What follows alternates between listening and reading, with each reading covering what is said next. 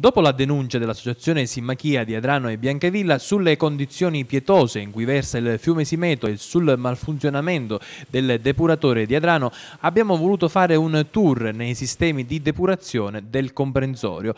Lo scenario che è emerso è davvero inquietante e parecchio preoccupante. Ad accompagnarci sono stati alcuni componenti dell'associazione Simmachia. Le immagini che vedete si riferiscono alla zona di Schettino, nei pressi dell'ex stazione in territorio di Santa Maria di Licodia. Qui il corso d'acqua che fuoriesce dal depuratore si presenta torbido con liquami e schiume, anche se le schiume sono di minore entità rispetto a quelle segnalate vicino al depuratore di Adrano. L'acqua non depurata prosegue il suo corso e quando si è già in territorio di Paternò si riversa in un torrente mescolandosi con acque bianche di diverse sorgive, inguinandole e finendo dritte dritte nel fiume Simeto. Oltre al depuratore, anche il collettore fognario di Licodia inquina, come vediamo, un corso di acqua cristallina, un patrimonio naturalistico e paesaggistico di incredibile bellezza che pochi probabilmente conoscono, lasciato nella più totale indifferenza da parte di chi dovrebbe provvedere a salvaguardare l'ambiente sia a livello regionale, provinciale, ma anche locale.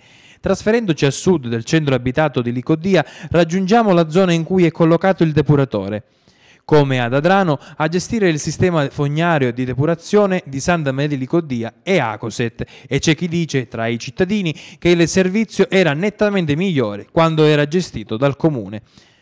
Uno dei cittadini che si trovava sul posto ci dice che il depuratore costruito più di vent'anni fa non può depurare, qualora funzionasse, tutta l'acqua dell'abitato di Licodia. Siamo al depuratore di Santa Maria di Licodia che appare totalmente in stato di abbandono.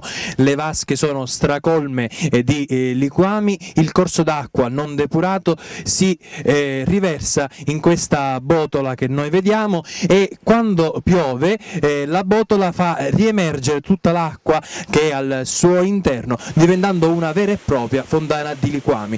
I cittadini hanno già raccolto delle firme ma attualmente ci dicono nessuno nessuna risposta. Un residente della zona ci mostra un video registrato col suo videofonino che state vedendo e ciò che accade al primo acquazzone, una vera e propria fontana di liquami che raggiunge in altezza addirittura i cavi dell'Enel, liquami che fuoriescono anche dal cancello d'ingresso del depuratore e si riversano in appezzamenti di terreni privati, mettendo a rischio di inquinamento le coltivazioni. Da segnalare pure la mancanza della recinzione che dovrebbe delimitare l'accesso al depuratore.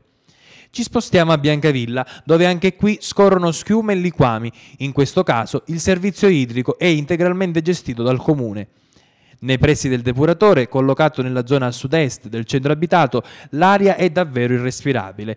Nonostante i bandi di gara d'appalto dello scorso mese di marzo per il completamento dell'impianto di depurazione per un importo di 1.220.000 euro e per il servizio di gestione e manutenzione del depuratore per un importo pari a quasi 25.000 euro, il depuratore è funzionante fino ad un certo punto. I biodischi, vista la portata di liquami, non sono in grado di depurare tutte le acque. Inoltre, parte dell'acqua che non riesce ad essere contenuta nel sistema di depurazione viene bypassata in un canale per poi congiungersi con quella che dovrebbe, il condizionale ed obbligo, essere depurata. Oltre ogni logicità. Il Simeto, ma anche le tasche dei cittadini, lanciano un campanello d'allarme. Da una parte l'annunciato disastro ambientale, dall'altra la legittima pretesa dei cittadini di chiedere il rimborso per il canone di depurazione, così come previsto peraltro dalle normative vigenti, considerato che il servizio effettivamente non esiste.